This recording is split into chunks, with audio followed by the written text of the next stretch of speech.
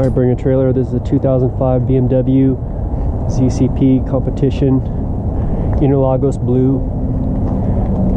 This car has some pretty sweet subtle mods on it. It's got the Brembo brake kit with the rotor hats, Michelin Pilot Sport tires, KW4 suspension.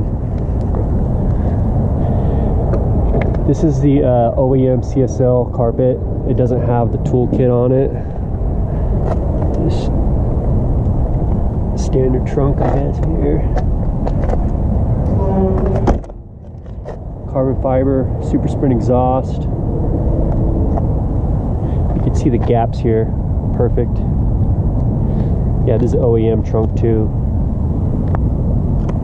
It's got blacked out emblems, blacked out BMW roundel. This car also has an Adams uh, ceramic coating put on with a full polish. The paint is really, really nice on this car. So this has a Hard Motorsports yellow door pulls. I also have the stock ones as well. Another cool thing about this car is Recaro Sportsters. And you can see right there the heater. Love the heater. We don't need that here in California, but that's pretty sweet.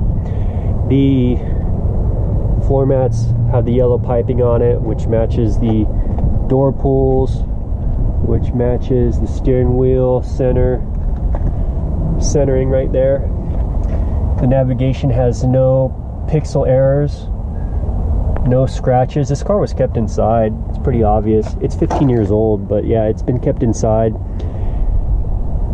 It doesn't have any of those type of wear that you'd get from UV. The back seats, no one sat in. It's got the the sunscreen, which is a cool option. Kind of like having tinted windows, but you can put it up and down electronically, obviously. The Anthracite headliner is in excellent shape.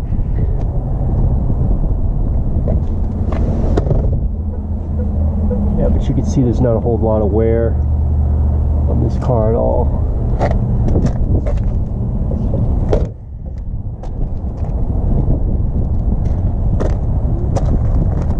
So this car has the typical exhaust mods, AFE intake. The engine runs perfectly. It's got all new fluids. The car was in an accident a couple years ago and front hood was replaced. I put new sound insulation underneath it because it was getting kind of nasty. It's got the black grills obviously, but the hoods, the paint matches really well. Usually these metallics that fade into purple and blue. They're pretty tough to match, but it looks really nice to me. Um, yeah, everything works on it.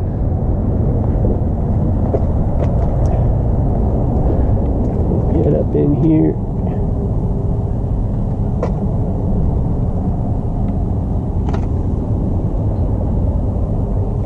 Got some of these red details here on the shift boot and on the e-brake. It's got the input for your iPod too for the stereo. And yeah it's pretty sweet. Oh yeah and these really cool seat belts OEM seat belts out of the newer M3s so yeah here it is 2005, 97,000 miles, just hit 97,000 miles and runs perfect. Thank you.